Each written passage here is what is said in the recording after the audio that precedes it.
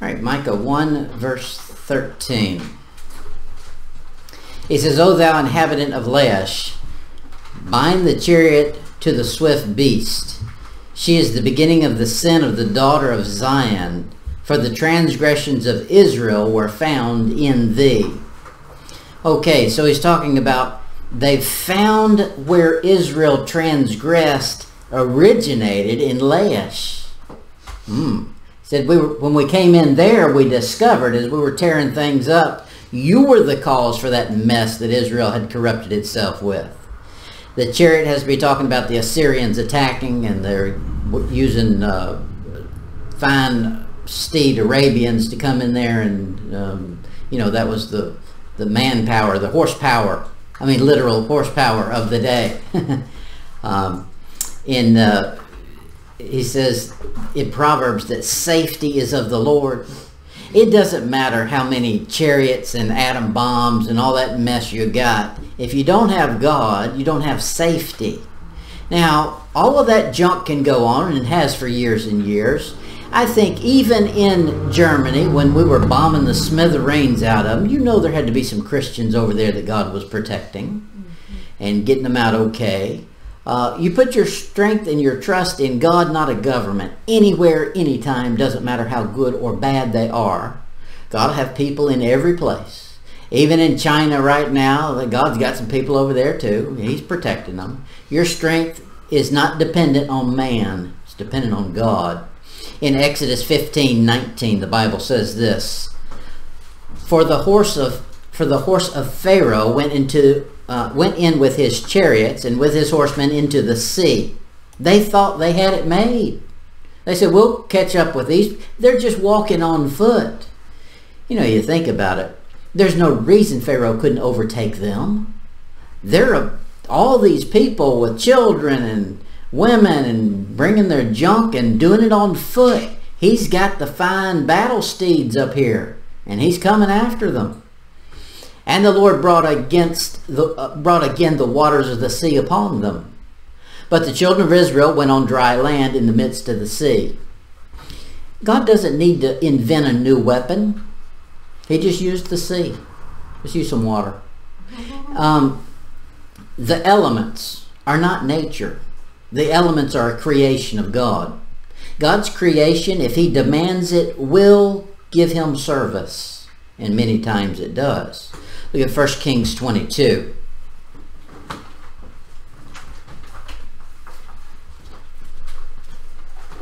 First Kings 22 will be in verse 35.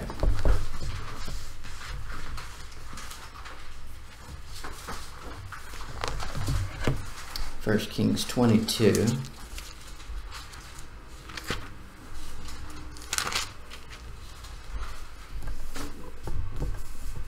Says, And a certain man drew a bow at a venture, and smote the king of Israel between the joints of the harness. Wherefore he said unto the driver of his chariot, Turn thine hand, and carry me out of the host, for I am wounded. Now you know that arrow didn't just fly up into the air on its own and smite the king perfectly. No, God's behind all that. There's no if you're a Christian, you don't believe in chance. You believe God overrules all. So Faith and trust must be in him alone. Now, that's what Israel had fled from, both the north and the south. The north did it first, and Assyria is coming in and about to wipe them out to the last man. And the south is picking up the mantle that, they, that their uh, sister left behind. Look at it in 2 Kings 9.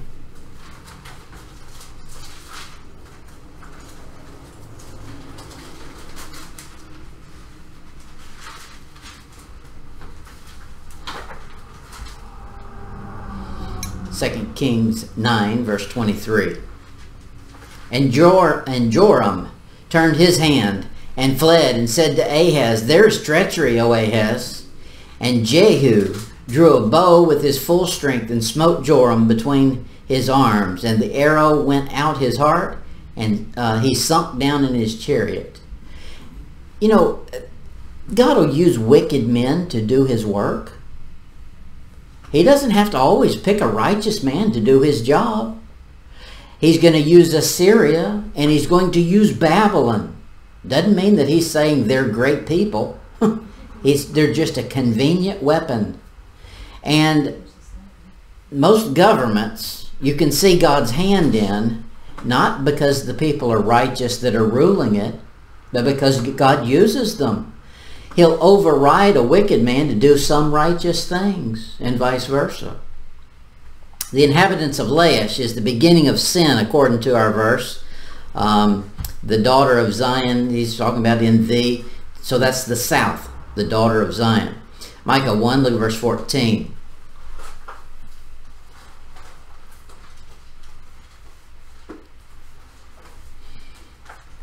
Verse 14. I'm going to need to look at a pronunciation for this thing.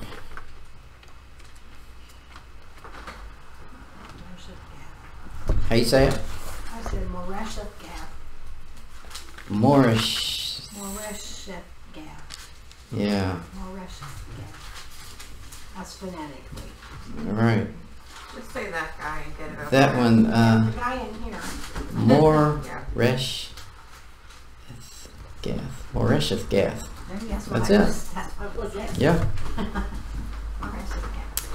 Wherefore shalt thou give presents to Moresheth Gath, the horses of Ak, the, uh, the houses of Ak, Zeb, uh, Akzeb, Akzeb. Where is, where's Kelly when I need her? Shall be a lie to the king of Israel. That is, you're going to places to bind, uh, to, to get help, and put a, put a put a, a, contract between you and a heathen, as though you can depend on that. That's exactly what the devil does. The devil tells a man, hey, I'll make you this deal and I'll do this for you and I'll give you wealth and fame. Well, it loses all of its joy once you start having to serve him. It's no good. He's no, he's no helper to anybody.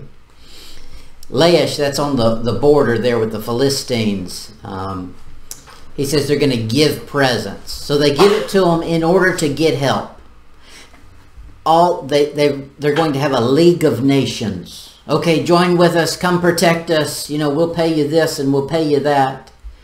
And what normally happens in these situations is they'll make the payment, but then nobody will protect them. And we saw it happen with Israel. It's going to happen here in the siege. Now this is a this is a heathen that's doing it. And the heathens are doing the same thing Israel did trying to pay off a foreigner that God's already said I'm going to use to destroy you with. Well, you can pay the devil all you want. He's still not going to protect you. Um, look at Micah 1 verse 15.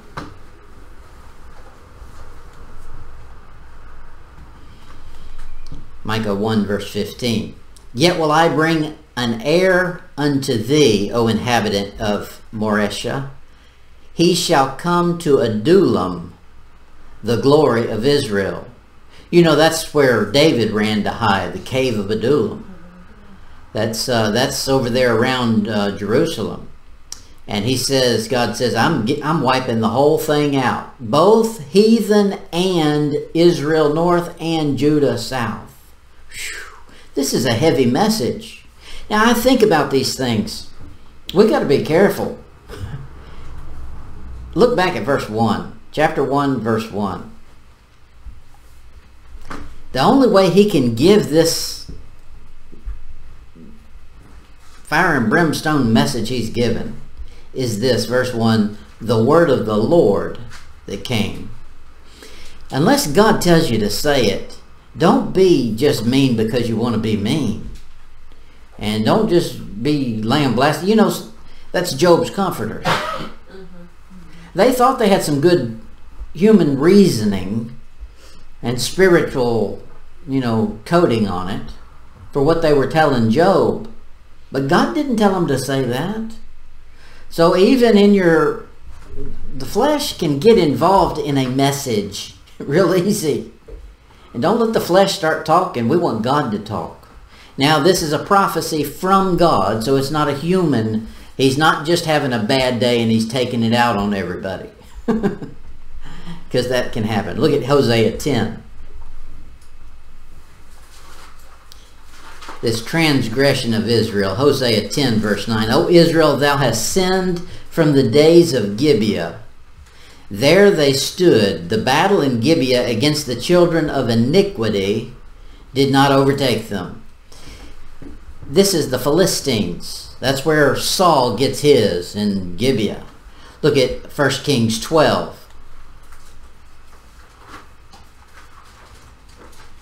1 Kings 12, verse 26.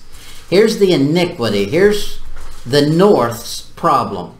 God makes it very plain all the way through that Old Testament. He'll tell you, this is why I hate the North. Man, it's not a bad thing to say now. Um, he says, 1 Kings 12, verse 26. And Jeroboam said in his heart, Now shall the kingdom return to the house of David. Now, notice where this happens. He says, He said this not to the people, he said it in his heart. That's where sin begins, in the heart. Now, I know we think of the heart as this muscle that's pumping blood, but there's mo- it's more than that. It's the inside of you. That's where you do your contemplating. That's where your plotting and planning comes in. Is in your heart who you are, the center of who you are. Verse 27. I pointed that out because it's going to come back up in chapter 2. Verse 27.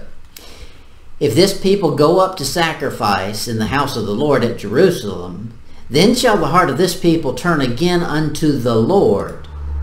Wouldn't that be a good thing?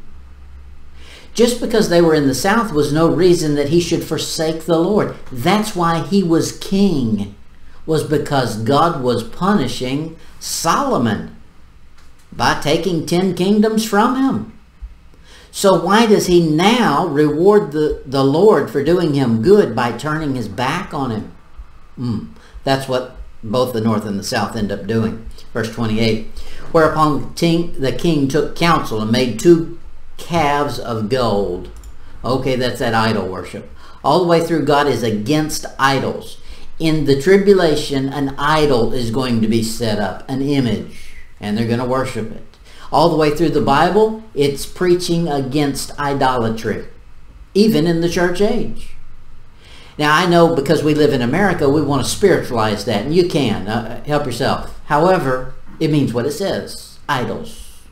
So if you go to India, it means idols, and you preach against idols. Uh, look at 2 Samuel 5.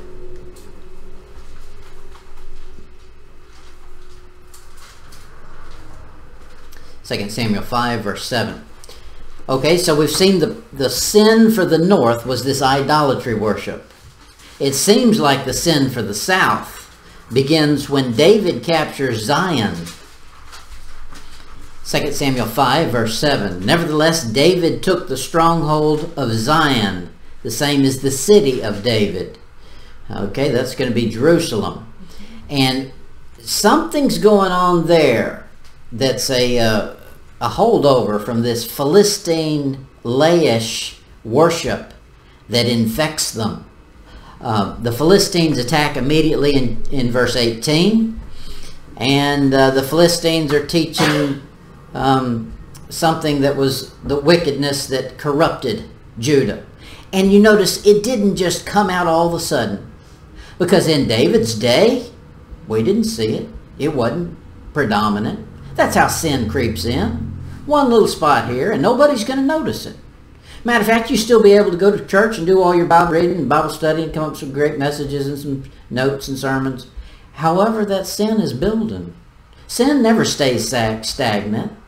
Well, neither does righteousness. So decide what you want. Uh, look at Micah 1 verse 16. Micah 1 16. He says, Make thee bald, and poll thee for thy delicate uh, children. Enlarge thy baldness as the eagle, for they are gone into cap- captivity from thee. Thy baldness like an eagle. I hate to tell everybody this, but an eagle's a bad bird. Mm-hmm. I, I know that it's our our national bird or whatever. It's the same one for Germany. It's the same one for, A lot of A lot of yeah, many, many. Um, the eagle is an unclean animal, and he's a vulture. He kills stuff. He takes prey, and he's not a good guy. he flies high, but he's a bad dude. He's unclean. He says, make bald like an eagle. Now, I don't know for sure. I'm just going to speculate here a little bit. We had a macaw. And these birds have a tendency to pluck. They pluck themselves for no reason. And it becomes a habit. And you can't break them of it. Um, it's like the kids nowadays. We talked about a little bit. The kids nowadays all have to have tattoos. Why? They get addicted to pain. Something satanic in that. And he says, make you bald just like an eagle. Go ahead and pluck yourself. Enjoy the pain. Wait till I bring mine. Whew. Look at 1 Samuel 22.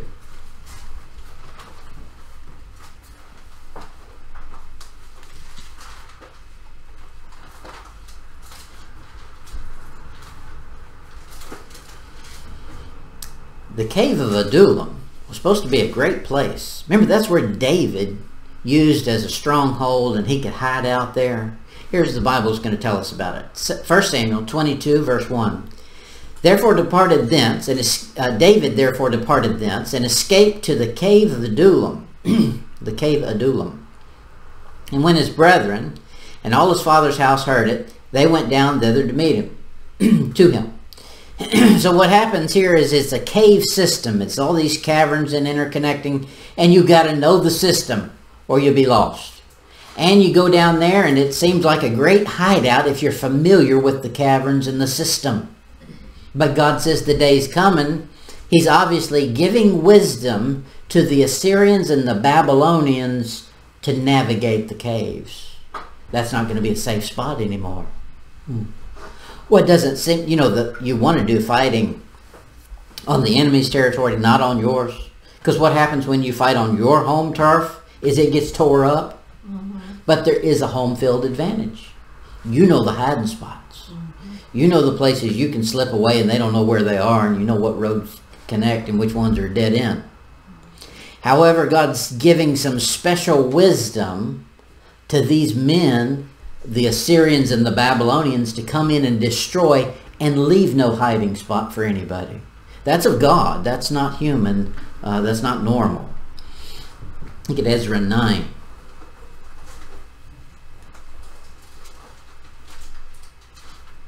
Ezra 9, verse 3.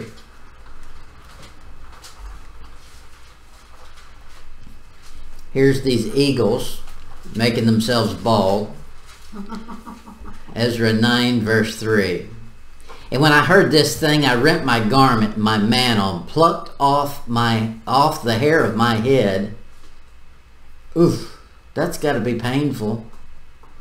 Uh, I don't, I don't know how a person does that. I couldn't, I couldn't make myself do that. Uh, the hair of my head and my beard, and sat down astonished. Uh, I think I would, I, I, I would be. Uh, I would have to be very grieved to be moved to pull my hair out. Mm-hmm. Uh, it needs to be cut, but I don't think I'm going to pull it. but that's what they did. He says um, they were doing this to such a degree, and it was a sign of mourning that when your relatives died, what the pagans would do was pull their hair. He says, Make no baldness for the dead. So as a sign of mourning and weeping, they would rip out their own hair. There's something about that pain thing. I don't like anything to do with pain. Now, fortunately, God's given me a high pain tolerance. So I can deal with a lot of things, you know, that have, but I don't choose any of it. Job 1.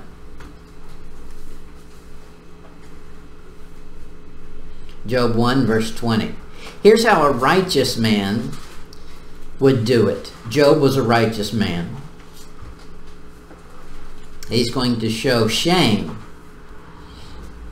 You know, it'd be a shame for a man to shave his head and, and beard um, in these days, the ancient times. Job 1 verse 20. Then Job arose and rent his mantle and shaved his head and fell upon uh, the ground and worshipped. Okay, he's showing obese, but see, he's not inflicting self pain there. He shaved it. he didn't rip it out. Okay, there, uh, there's something satanic, I think, behind this inflicting self pain, and it's wicked. And we're going to see more and more of it. There's a the the kids go through the fad of cutting themselves. That cutting is addictive because it doesn't make sense. It wouldn't be addictive if you were a normal person, but there's something satanic in it. Micah chapter 2, Micah 2, verse 1. We saw that earlier. The way those golden calves showed up in the north, the kingdom, was this. He said in his heart, I'll bet you if I don't have, you know, an appealing worship service, those boys are going to run back to Israel.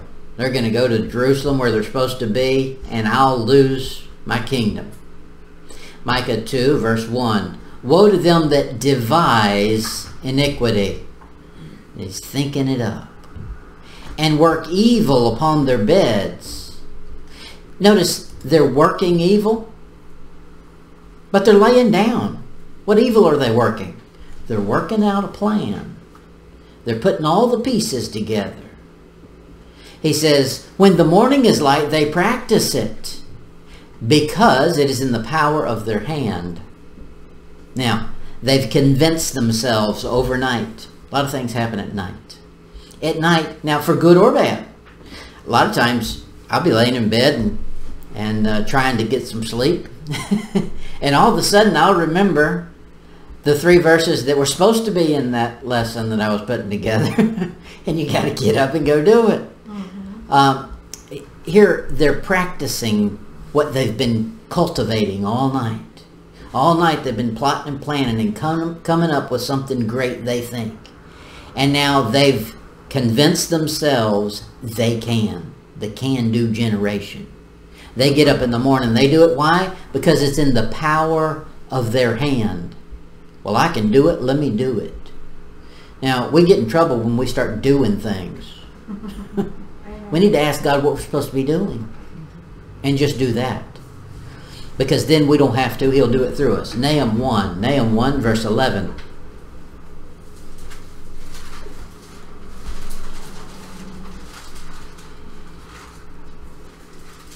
Nahum 1.11 There is one come out of thee that imagineth evil against the Lord, a wicked counselor. Wow. You know what happens? Your mind will run away with you. it will. And what'll happen is it'll start imagining some evil things. Now, I mean, we're, we're a good crowd in here. We're not going to go out and imagine the same evil that the world does. But our evil will be, it's in the power of my hand to fix this problem or that problem. That's evil from God's point of view. He wants to do it. And he says, you know what that does? It corrupts your counsel. Notice this person who's devising, uh, how did he put it, imagining evil against the Lord is also a wicked counselor. It corrupts your communication. Imagine that. You don't even have to have wicked friends to corrupt your communication. Your mind can do it for you. We're a weak people. Acts chapter 23.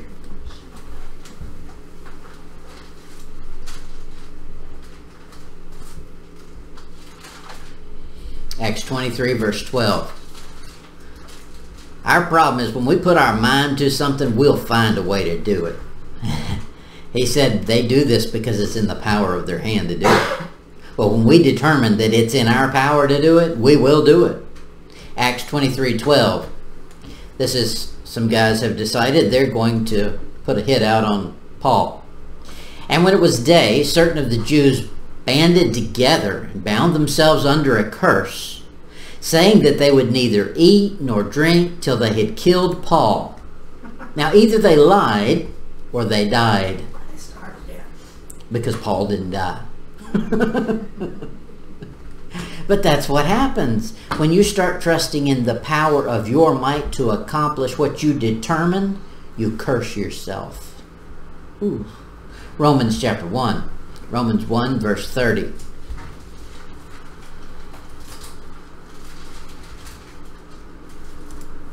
Romans 1 verse 30. This is a list of bad things. Backbiters, haters of God, despiteful, proud, boasters. Now look at this one. Inventors of evil things. You know how they invent evil things? They laid in bed one night and drum it up, dreamt it up, dreamed it up, however you say that word. they were contemplating. The wheels in their head were turning and they were imagining how they could make something happen. We live in a world of devices. Oh, we were talking to Kelly today, talking about an EMP. If there was a electromagnetic pulse sent off over America, it would it would kill the nation. We depend on every little device. You can't walk in somewhere without punching a screen somehow. You can't pay for gas without looking at a screen.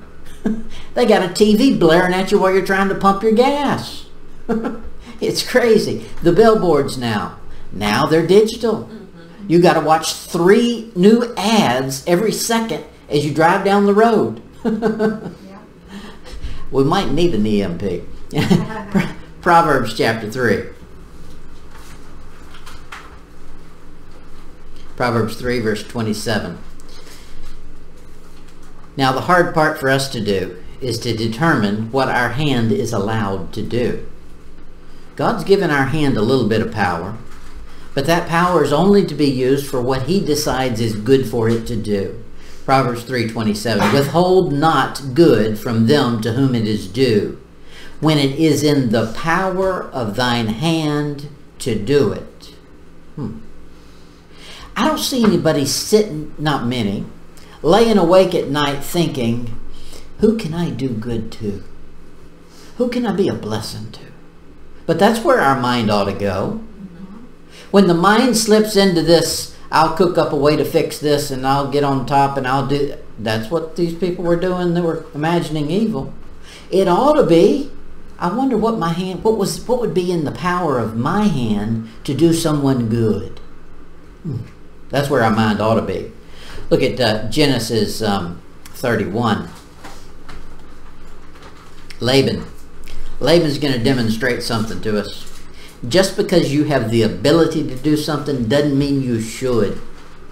And even a wicked person should be able to recognize when God is saying, sit on your hands. Genesis 31 verse 29. Laban says, It is in the power of my hand to do you hurt. But the God of your father spake unto me yesternight, saying, Take thou heed that thou speak not to Jacob either good or bad. But if I could have my way, I would do more than just speak, buddy. but he was smart enough to know he might cook up some plans, but he sure had better not practice it. Because God showed up and said, you do it, you're a dead man. Proverbs 17. Proverbs 17, verse 16, one of my favorite verses. I haven't said that in a while, so I just thought I'd say it. it is. Proverbs 17, 16. He says, Wherefore is there a price in the hand of a fool to get wisdom, seeing he hath no heart to it? You know what happens with man? He says, it's in the power of my hand to do this or do that. And then he has to go practice it. He doesn't really know if it really is in the power of his hand. He's got to go find out. He's imagining it is. I'm sure it'll work out. You know, I, I think I can. Well, then you go do it and you find out. We've all thought we could do something and found out we couldn't. okay, now you got wisdom. He says, why does a fool think he has power in his hand and he goes to do something, then he gets wisdom. And the wisdom didn't start in his heart. It started from experience. Some people only learn that way. You get Job 12. Job 12, verse 10.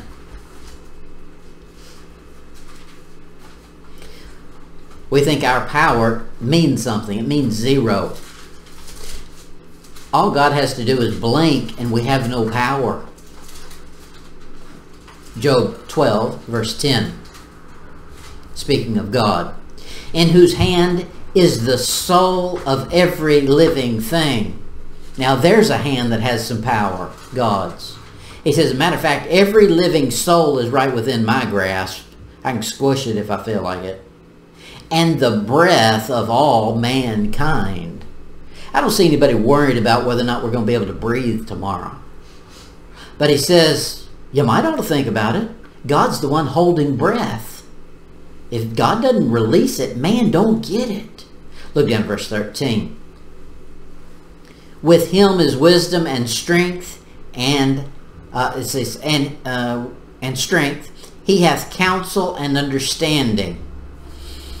Man tries to counsel himself. The great thing that's not great, the big thing that's going on right now is every kid has to go see a counselor, a psychologist, a psychiatrist, a sci something. yeah, sci-fi. What's going to happen is they're going to get bad counsel if there's if the child or the person going to the counselor is a Christian and they've not asked God about it. Now I'm not saying God won't tell you to go seek counsel sometime. But he may, but it'll be few and far between because he's the mighty counselor. That's his name. Uh, Daniel chapter 5. Daniel 5 verse 23. Another one of my favorite verses. This is Belshazzar being told off. Daniel has interpreted the writing on the wall, and he's going to let this guy have it and say, You knew better. Don't play ignorant. Don't play innocent now. He says, Daniel 5.23, But hast lifted up thyself against the Lord of heaven, and they have brought the vessels of his house before thee, and uh, thee and uh, before thee and thou and thy lords and thy wives and thy concubines. Man he's got wives and concubines and he, he got the whole nation going on here. Have drunk wine in them. Talk about rubbing god's face in something. Yeah we're just going to put some some hooch in this thing that's supposed to be dedicated to the lord. Whew. that'll make him mad and thou hast praised the gods of silver and of gold, of brass, iron, wood, and stone, which see not, nor hear, nor know. And the God, here's the punchline, and the God in whose hand thy breath is, and whose are all thy ways, hast thou not glorified. Said you didn't think about it, buddy, but you're still breathing, aren't you? You owe God glory for that. Hmm. It's a good practice to get into every now and then just to thank God for the ability to breathe. Yeah. Now, I breathe, I don't I don't really think about it. I don't have a problem breathing. Some people do. If you had emphysema or sleep apnea or asthma, some of those things, then you would get a better appreciation for me get, being able to breathe well. We've battled with this um, COVID thing a few times. One of the things it does is it attacks your air. Your oxygen goes down. This is all that stuff. God is able to give you breath, and we got to thank Him for it. Um, that's one of those minor things. We think it's minor and we just expect it to be there, but no, it's not. And if we get in a habit of ignoring the basics, I mean, we get down to it, that's a basic. If you can't breathe, you won't be here long. Look at Micah 2. Micah 2, verse 2. Micah's going to start getting pointed with his message now. He's going against the rulers, the bigwigs, the rich boys. He says, They covet fields and take them by violence. You know how they did that coveting? They were dreaming it up. That's what we saw in the previous verse. They were laying in their bed one night and they thought, you know, I really could extend my property line. I just got that one guy sitting in the way. That's no problem. He ain't nobody. I'll just take him out. And they do it, he says, by violence. And houses and take them away. So they possess a man and his house, even a man and his heritage. Now, this is a big no-no in Israel. In Israel, every seven years, the property returns to the household that it belonged to. Um, and that was Ahab's big downfall, you know, with Nabal. Exodus 20, 17 tells us the property rule. Exodus what? Exodus 20, 17. Commandment. Very, very basic and obvious. Thou shalt not covet thy neighbor's house. Build your own. Thou shalt not covet thy neighbor's wife, nor his manservant, nor his maidservant, nor his ox, nor his ass, nor anything that is thy neighbor's. All of Israel knew that rule. They may have been a little foggy on some of the rules in Leviticus, but you can count on it. They knew that one. 1 Kings 21. 1 Kings 21, verse 2.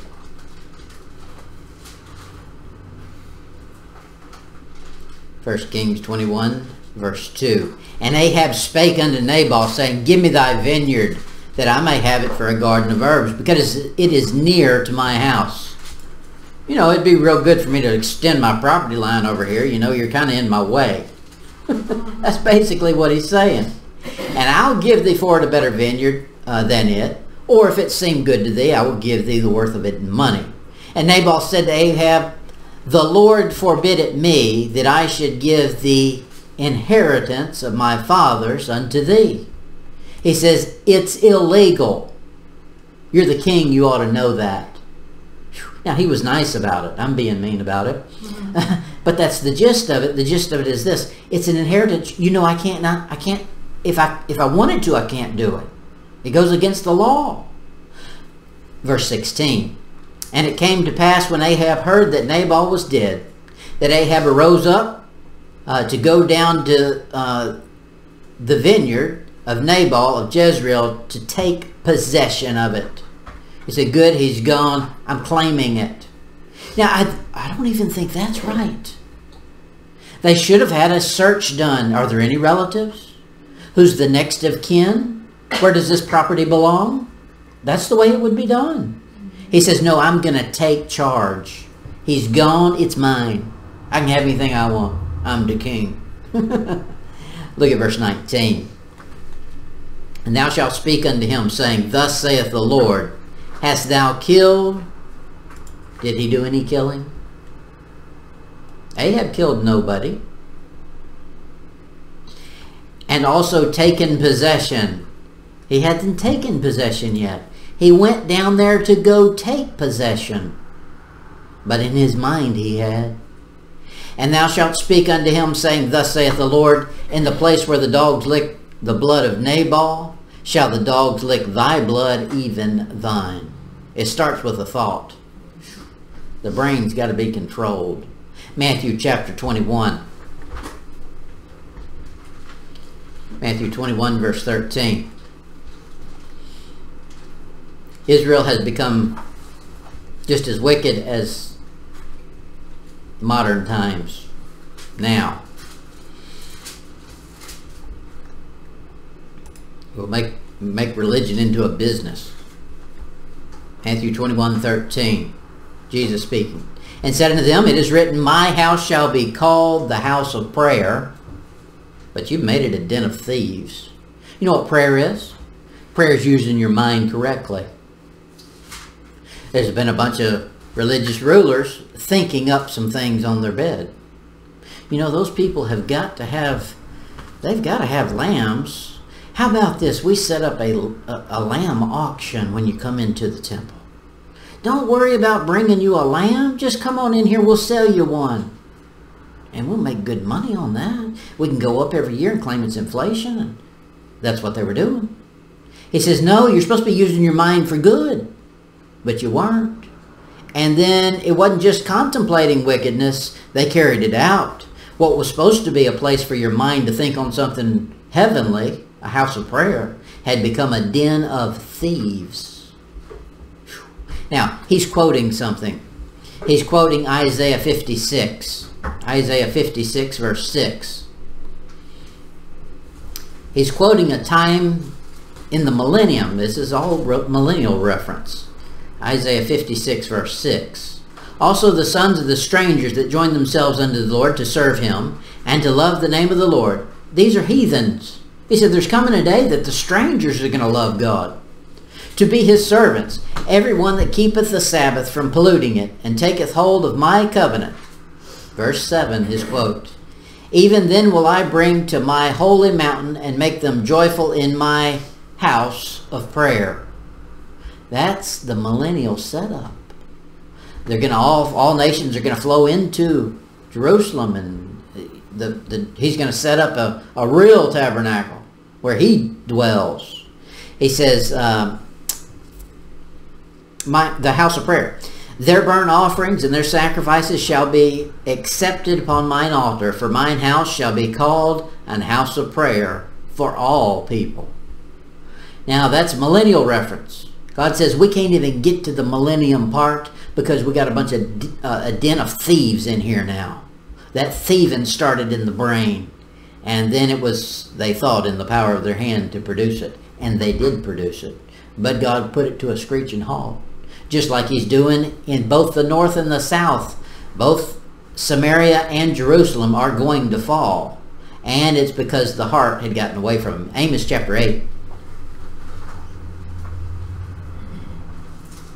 Amos 8, verse 4. It was too easy to get rich and too hard to get rich. the rich people could get richer and the poor people could never get ahead. It's just like America, just like every nation. The wealthy seem like they always just get more and more wealthy, and the poor just struggle and struggle harder and harder. That's always been the same way until there's coming a day that righteousness rules. When righteousness rules, he'll flip the table. Amos 8, verse 4. Hear this, O ye that swallow up the needy, even to make the poor of the land to fail. Huh.